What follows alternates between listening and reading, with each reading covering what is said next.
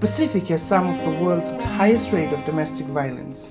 On average, two out of three Pacific Island women will experience domestic violence at some point in their lifetime. These women are more likely to experience more severe forms of such violence. This is more than twice the global average. It is a significant problem in the Pacific as well as the world, and one that government are not taking lightly. The delegation led by the Director for Women of Tonga are here on the fact-finding mission to explore options and models of services delivery for referrals for family and domestic violence cases. Gather ideas and exchange insight with their Fijian counterparts about services delivery models and referrals for responding to case of gender-based.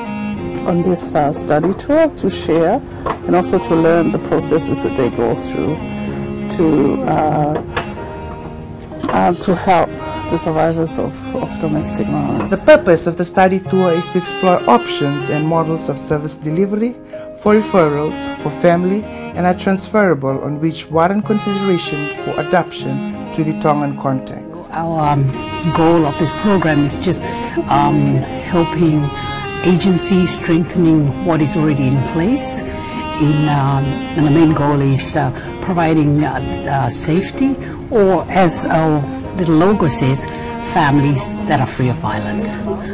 Bringing the two countries together only add values to the program. To support South-South learning between Tonga and Fiji on how to strengthen and improve services for women and girls who experience violence.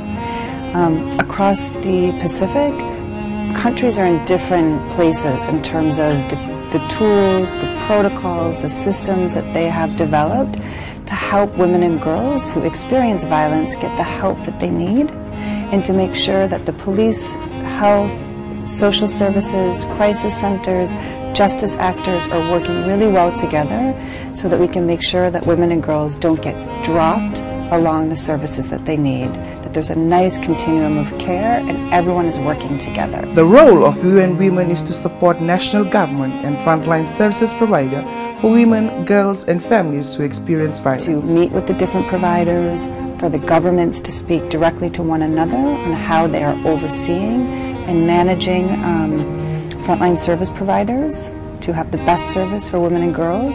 So we're really excited that for this visit, we see Tonga coming to Fiji to see how Fiji has moved forward their services, but also Fiji has the opportunity in this meeting to learn as well from the Tongan context and what they are doing um, to improve access to service. This visit is an important one for the Tongan delegation. So our role is really through the convening and coordination um, and direct partnership role that we have at national level, but also the regional work that we do in bringing learning, partners together is to help facilitate this learning exchange in partnership with the Families Free of Violence program, um, who is funding and sponsoring this trip and who um, works very closely with all of the stakeholders in Tonga um, to improve services. So what is the group hoping to get out of this fact-finding mission? So to let the group um, you know, engage, find out what's happening so that when the group goes back to Tonga,